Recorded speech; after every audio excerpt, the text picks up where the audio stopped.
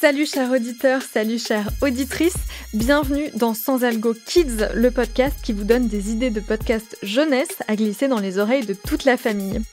Cette semaine, comme c'est la fin de l'été, c'est un podcast à écouter sur la route du retour des vacances que je vous propose de découvrir, un peu comme une pré-rentrée audio pour se remettre dans le bain de l'école tout en douceur.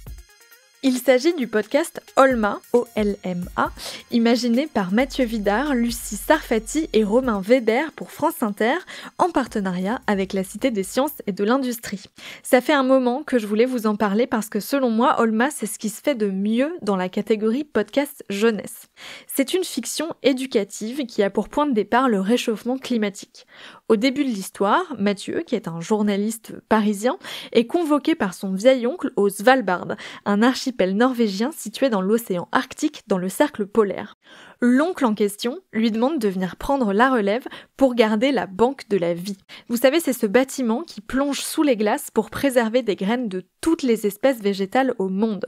C'est un peu une sorte d'assurance vie de la biodiversité au cas où des espèces viennent à disparaître. Mathieu se rend donc au Svalbard avec sa petite chienne Philippine et il y fait la connaissance d'Olma, une intelligence artificielle chargée de refroidir la banque de la vie menacée par la fonte des glaces.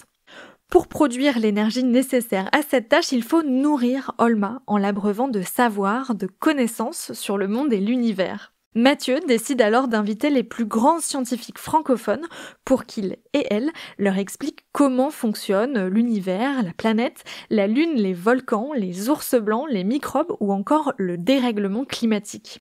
Dans chaque épisode, on retrouve donc Mathieu, Olma, Philippine et un ou une invitée de renom qui fait l'effort d'expliquer, le plus simplement possible, des notions scientifiques souvent pointues.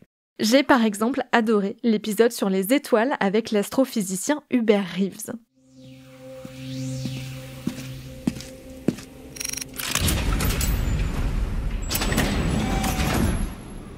Bonjour Hubert Reeves. Bonjour. Vous allez bien? Très bien. Je suis très heureux de vous rencontrer ici au Spitzberg. Je sais que les pays froids ne vous font pas peur parce que vous êtes né au Canada. Oui, absolument que j'ai connu des températures de moins 40 et que c'est quelque chose. Entrez, entrez Hubert. Je vous présente Olma. Bonjour Hubert Rees. Bonjour Olma. Est-ce que le ciel au Svalbard est le même que chez vous au Canada? Alors le ciel ici au Svalbard, il est presque le même que le ciel qu'on voit au Canada ou en France. La seule différence, c'est quand vous vous approchez du pôle Nord, l'étoile polaire est juste au-dessus de votre tête, tandis qu'en France, elle est plus basse. Hubert, dans les étoiles qu'on peut regarder à l'œil nu, est-ce que certaines sont plus connues que d'autres? Oui, bien sûr, l'étoile polaire pour commencer. C'est plutôt au nom des constellations. Il y a la constellation d'Orion. Il y a la grande ours que tout le monde connaît, la petite ours, Cassiopée, le W. Mais qu'est-ce qu'elle a de spécial, cette étoile polaire? Ce qu'elle a de spécial, c'est que la Terre tourne et elle tourne autour d'un axe. Et si on prolonge cet axe dans le ciel, mentalement, on arrive tout proche d'une étoile qu'on a appelée l'étoile polaire, parce que la nuit, elle vous indique le nord, évidemment. Ça, c'est dans la saison 1. Après le cercle polaire, la joyeuse bande se rend en Afrique dans la saison 2, dans la forêt tropicale du bassin du Congo, pour tenter de stopper la déforestation. L'occasion pour nous, auditeurs, d'en apprendre plus sur les arbres, les singes et même sur l'histoire de l'humanité, notamment aux côtés d'Yves Coppens. Vous savez, c'est le paléontologue qui avait découvert l'Australopithèque Lucie en 1974 et qui est décédé il y a quelques semaines, donc vous en avez peut-être entendu parler. Le podcast a aussi une sorte de troisième saison hors série sur l'espace qui s'appelle Allo Olma, ici Thomas Pesquet, et qui a été tourné pendant que l'astronaute français séjournait dans la Station spatiale internationale.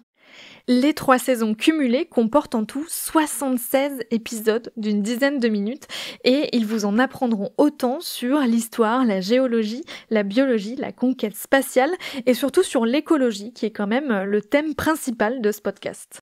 Olma, c'est un podcast de Mathieu Vidard, Lucie Sarfati et Romain Weber avec la voix d'Emilie Blond-Metzinger dans le rôle d'Olma. Vous pouvez retrouver tous les épisodes sur l'application Radio France, mais attention, les épisodes de la saison 1 ne sont plus dans l'ordre.